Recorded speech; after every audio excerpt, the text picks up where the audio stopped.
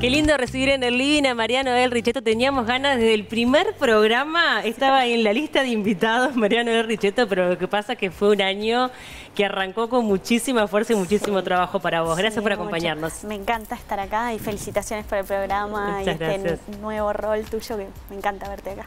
Bueno, este, un año de mucho trabajo, ¿verdad? Mucho, Sí, mucho. Muchos desafíos Eh, también. mucho, cambiando eh, de roles también, eh, pero contenta, muy contenta. Creo que encontré otra pasión que, que no es la de, la de bailar, que sabía que al dejar de bailar se me iban a, a- me iba a cambiar mucho la vida, pero, pero bueno, ta, son, son etapas, ¿no? Cerré esa y bueno, y ahora estoy en esto con, con la dirección del ballet que, que me gusta mucho, que está siendo este, un desafío muy hermoso y mucho trabajo.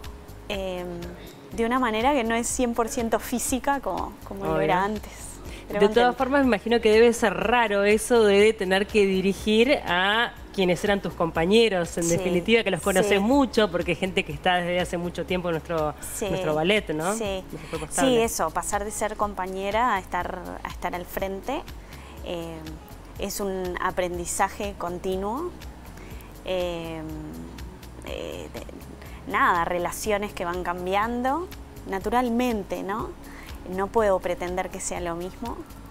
Eh, yo me siento igual y, y frente a ellos también, pero claro, es, es este, es otro tipo de responsabilidad. Tenés en tus manos la carrera de casi 60 bailarines.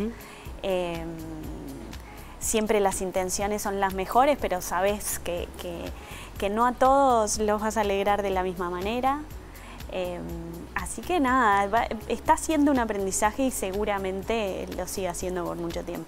Estos años desde que llegaste a Uruguay han sido, me imagino que muy intensos, al menos quien lo mira desde afuera ve que estás con un montón, bueno, de compromisos, de oportunidades, de posibilidades, que en definitiva no son más que consecuencia de mucho trabajo, mucho trabajo que de repente fue invisible a nivel masivo y que realizás desde re chiquita. Sí. Para recordarle a la gente que vos te fuiste con 15 años a vivir sola en Nueva York con todo lo que eso implica, ¿no? Sí, ¿Hacés sí. como un repaso de Un todo lo ocurrido? Sí, me fui, o sea, a mí la beca me la dieron con 14 años me- y me iba a ir y cuando estaba a punto de irme eh, decidí que no, lloraba todas las noches, tenía como un drama y una cosa así que, que- que en mi casa dijeron, bueno, vamos a poner pausa a esto, terminas tus estudios, terminas esto, eh, la escuela de danza, ¿no? Eh, cerramos etapas y, y bueno, y fue lo que pasó y me fui con casi 18 eh, que también era chica, los 18 de ese Obvio. momento no son los 18 de ahora.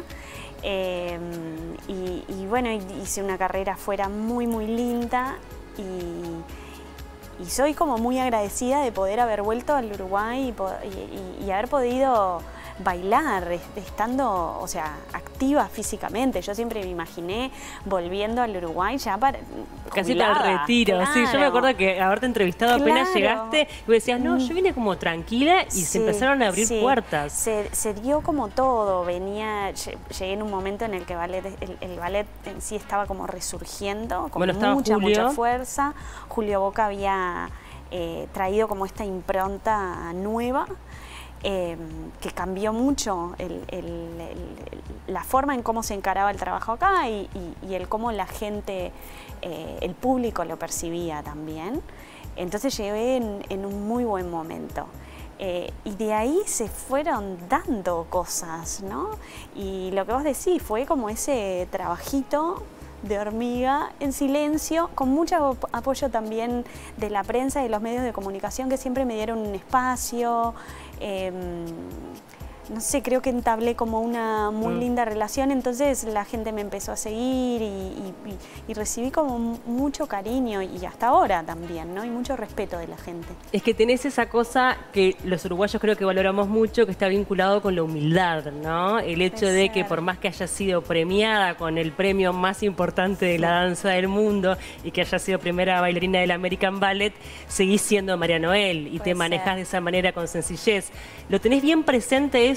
¿Lo- ¿Te lo remarcás constantemente? No, yo creo, creo que, hay, que hay una, una cosa que, que, que sí, que lo, que lo que se ve es lo que hay, ¿no? Lo- o lo que hay es lo que se ve. este, siento que, que, tengo una cercanía con la gente y que hay, hay como una cosa de ser tangible, sí. O sea, la misma que nos encontramos en un supermercado y puedo estar teniendo la misma charla contigo que la que tenemos ahora. Y, me pasa con mucha gente. Entonces, quizás eso formó como un vínculo lindo. Eh, soy cercana también en las redes.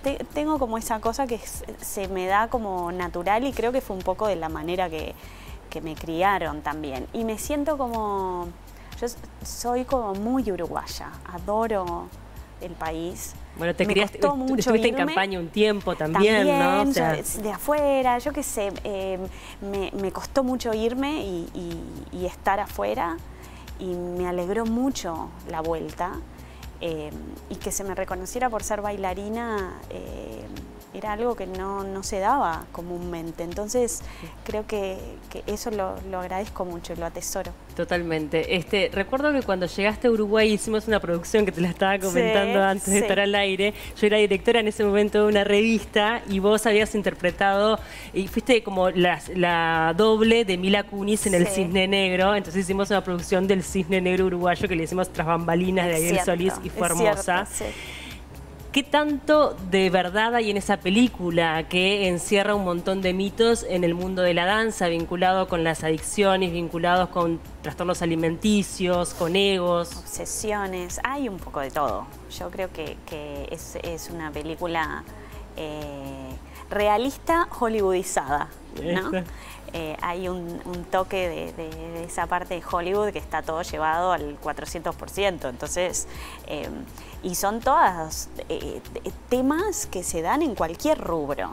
Lo que pasa que yo siempre digo lo mismo, el bailarín está muy expuesto y todo lo del bailarín es, físico. El físico es su mayor herramienta de trabajo. Es muy estético, única. Muy estético. Exacto. Entonces, pero creo que, en cualquier rubro, en cualquier profesión, pueden existir esos trastornos alimenticios, puede existir esa obsesión. Eh, eh, existe en todos lados. Em, yo disfruté de haber tenido eh, la experiencia de hacer la película. Eh, fueron tres segundos, porque lo mío era como muy cortito. Em, sé que hubo bailarines que se ofendieron mucho porque mostraban como esa realidad muy cruda. Muy cruda.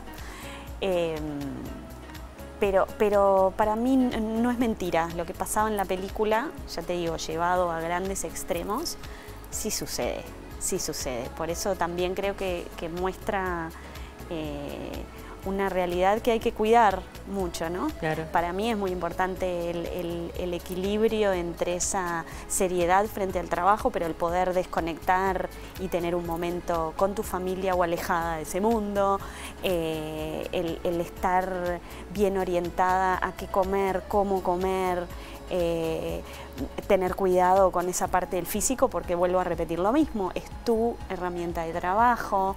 Em, no sé, después esos valores de cómo manejar tu carrera y cómo seguir adelante con una profesión que, que es dura, pero que existen 800.000 cosas también eh, o profesiones fuertes. Totalmente.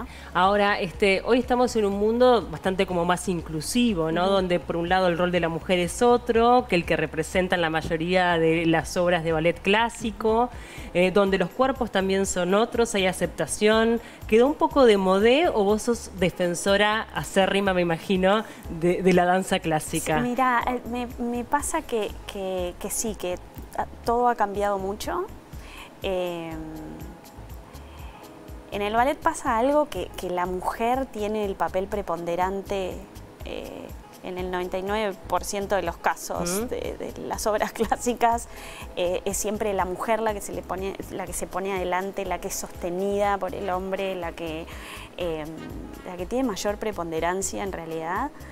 Em, en cuanto a lo físico, está cambiando mucho todo yo creo que en, la danza clásica muy lentamente, muy, muy lentamente y se sigue pensando en ese cuerpo de bailarina, ese estereotipo de, una figura delgada, piernas largas, esas eh, proporciones que, son tan buscadas, el cuello largo, los brazos, las piernas, el empeine, la abertura, la flexibilidad, esas cosas se siguen buscando y no sé si va a cambiar mucho.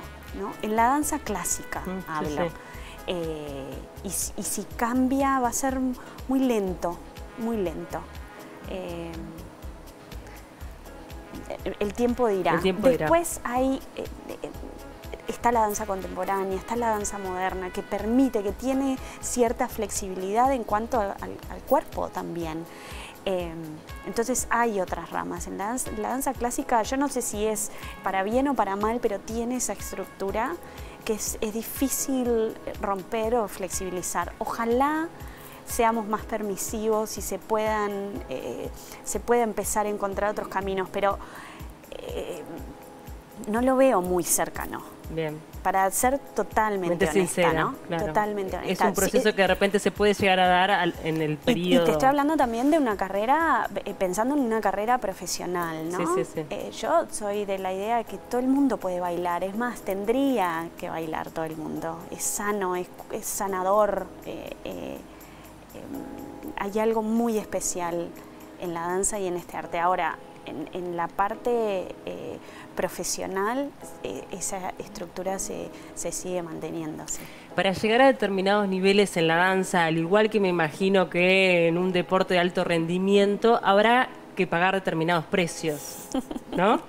Sí, Para, para llegar a determinados niveles, en lo que sea, ojo, en cualquier carrera, Sí, me animaría a decir, ¿no? Para sí. llegar a determinados niveles de excelencia, uno tiene que animarse y pagar determinados precios. ¿Te arrepentís de algo? No, no, yo creo que no. Mira, de las, de las veces que a mí me ha tocado eh, elegir entre la danza o el ballet o mi carrera profesional y otras cosas, siempre ha pesado más, por lo menos cuando bailaba, ¿no? Siempre ha pesado, ha pesado más mi trabajo. Este, y, y- y al momento de elegir y de tener las dos cosas en la balanza, está pesado un poquito más y siempre tiré para ese lado. Después, con lo que pasó en mi carrera fue que también llegó un momento que en Estados Unidos que se me planteó la posibilidad de volver y, bueno, y puse en, esa balanza el, el seguir con mi carrera acá o seguirla allá y me la jugué por volver. Em, siempre he elegido, Bien. soy como muy workaholic también, me gusta trabajar, en estos momentos adoro y elijo lo que estoy haciendo, eh, pero trato también de desenchufar, de que termine mi horario de trabajo y no quedarme enredada en, en esas cosas que no pude solucionar en el día. Trato de llegar a casa y dedicarme a mi familia, a mi pareja, me encanta estar en mi casa. Creo que es, es sano también para encarar el día siguiente. Y le pasa a cualquiera, pero es como vos decís, cuando uno tiene esa ética de trabajo y esas responsabilidades y, y objetivos como claros, eh, trabaja aún más y no sé si te pesa tanto. Totalmente. Vos estarás chocha con lo que estás haciendo Sí, también me y vas encanta, a tu casa y claro. disfrutás de tus hijos Y estoy de tu marido. mejor, Y bueno, claro. se- creo que, que cuando, cuando uno es feliz hay que buscar la felicidad en, las, en los dos lados, en, lo profesional y en lo personal y- y se conjuga, eso se tiene que conjugar y está buenísimo cuando pasa. Recién hablabas este, de la importancia también de cómo te criaron, ¿no? Bien. De tu mamá, de tu papá, tu hermana. Eh, el hecho de que tu mamá no, es- no haya estado más, que haya fallecido por Sí. una enfermedad, ¿te hizo de alguna manera volver o tener ganas de volver a Uruguay? Y bueno, un poco en ese momento de, de poner en la balanza me pesó Mm. el, el saber que mi hermana en ese momento estaba embarazada de su primer hija, eh, que mi papá no se ponía más joven, al contrario, iba envejeciendo, que yo quería buscar también mi estabilidad personal.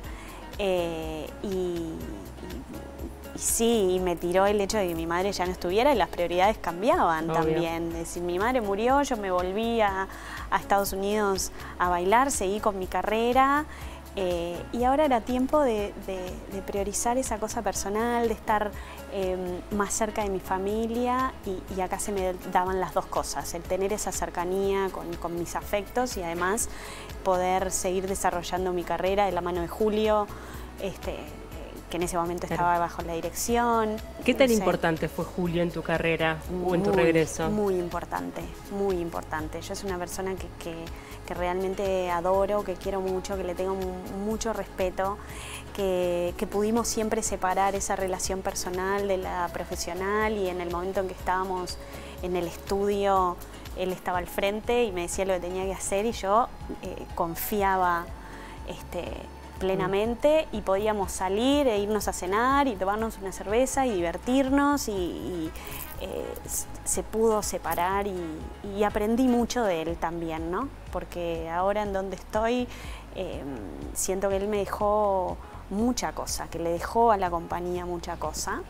Em, y que yo no quiero que se pierda esa esencia que dejó. consultándole? ¿Se hablan por teléfono? Nos hablamos, no, con la misma frecuencia, mm. pero sí nos hablamos. Él viaja mucho también.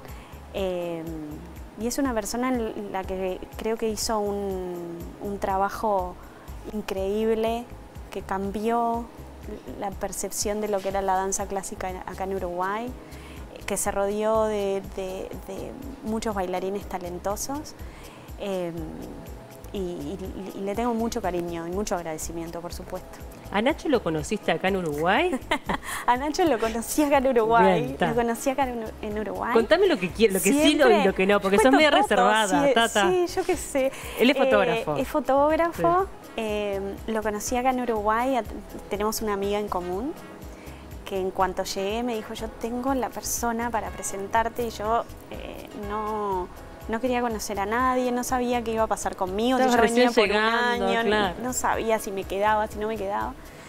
Este, y bueno, coincidimos en, un lugar y, no nos separamos más. Y va a ser ya va a ser 10 años que estamos juntos. Hoy es tu familia, mi en familia, su familia es mi familia. Em, somos muy amigos. Él para estar al lado de una bailarina o de un artista eh, hay que tener mucha seguridad, hay que tener las cosas muy claras y hay que tener mucha confianza. Eh, y, él me apoya mucho, ha sido un pedestal enorme en mi carrera y en mi vida, obviamente. Este, y nos llevamos muy bien, somos muy, muy compañeros, muy amigos. Está buenísimo eso. Sí, espero que sigan los proyectos. Es que uno la ve a María que es como suave, calma, pero en definitiva, claro, cuando eh, formaste parte del jurado de Got Talent, se notaba allí que había como cierto, eh, cierta forma de marcar, con respeto, obviamente, pero sí marcar el límite de lo que te parece y de lo que no. Eh, ¿Cómo viviste esa popular? Yo como espectadora te lo digo. Eh, ¿Cómo viviste la popularidad que te dio Got Talent, la cercanía a la gente? Porque digo, es verdad que ya venías con una carrera, bueno, súper exitosa, mucha gente ya te conocía por el arribo Uruguay, pero eso te hizo llegar a todos los, hogares del país, ¿no? Me, gustó, me gustó mucho. Yo la verdad que, que disfruto mucho del programa. Siempre digo lo mismo, que para mí es hasta terapéutico porque me hace olvidar de las preocupaciones que tengo del sodre de repente este, o de mi casa y, e ir con, otra cabeza al programa.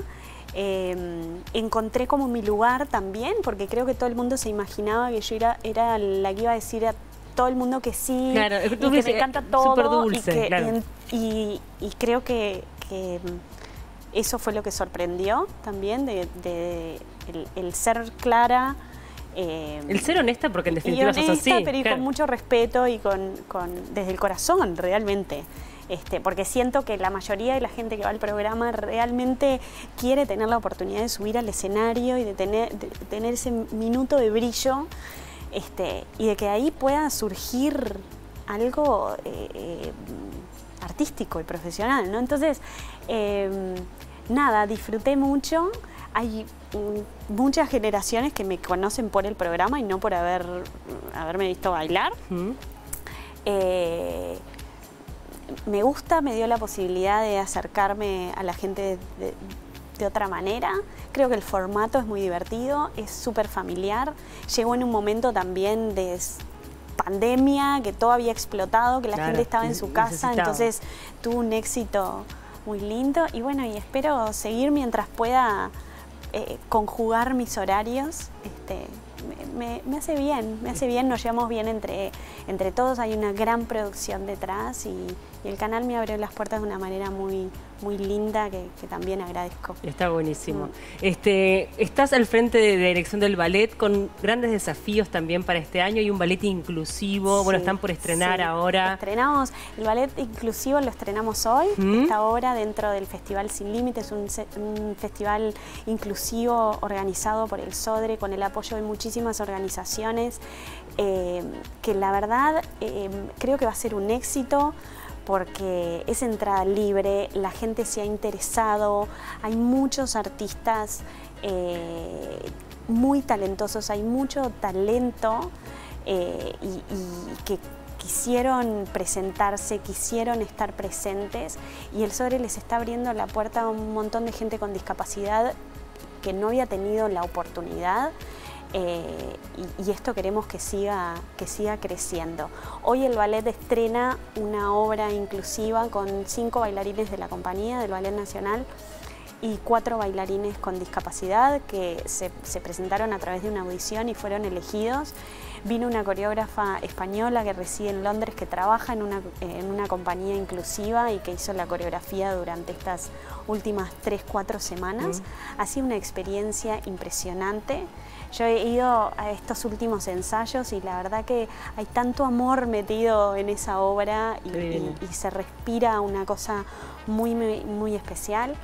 Eh, este festival abre hoy, y termina el 24 de abril con es, todo de artes escénicas, escénicas, así que van a tener la posibilidad de ver de todo. Como dije, la entrada es gratuita, pueden averiguar en la página del Sodre mm. em, cómo acceder a las entradas. Hay mucho para ver.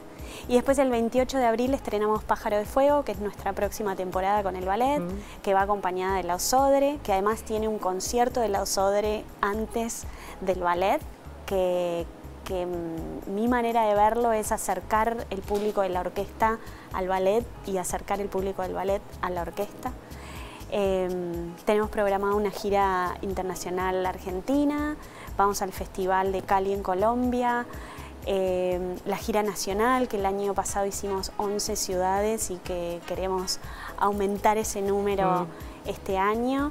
Em, Raimonda, un ballet nuevo para el ballet, para, la compañía, que, no, no, lo tenía en el repertorio y que está programado para este año. Cerramos con El lado de los cisnes, hay un ballet nuevo de Marina Sánchez y viene este coreógrafo israelí, Ohad Naharin, que ha revolucionado el mundo de la danza y, viene a trabajar con nosotros también. Así que creo que no me olvidé de nada, me estoy quedando sin aire. Pero de todo. Pero hay como de todo, entonces yo invito a la gente que realmente em, siga las páginas del ballet, del Sodre, que se entere de todo lo que estamos haciendo, que, que es un montón. La compañía se ve muy, muy bien. Lo digo con, mucho orgullo porque este, están trabajando muy, muy bien. Eh, y se merecen ese aplauso de la Qué gente. Linda. Para finalizar, este, María, hoy la consigna de la jornada son los objetivos para el 2022 ah. porque viste que llegó el último ciclista y decimos arranca el año. Yo sé que tu año arrancó hace ya rato, ¿no? Pero sos de plantearte objetivos, obviamente no a nivel profesional que ya me contaste todos los objetivos que tienen con el ballet.